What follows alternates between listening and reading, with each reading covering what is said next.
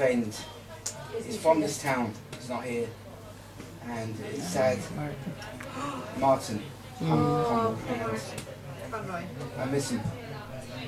The last time I saw him was in Cavan, the flower. With the, remember Judy, the ladies in the Andy? At the weekend with them. I do, I do. And he was, we had a good time. Yeah. He was in good form, he was in good health. But when I got a phone call from ba- uh, Barry in December that he passed away, I couldn't believe it. And, We'll dedicate a tune for him now. Okay. Lovely. Okay. Oh, huge.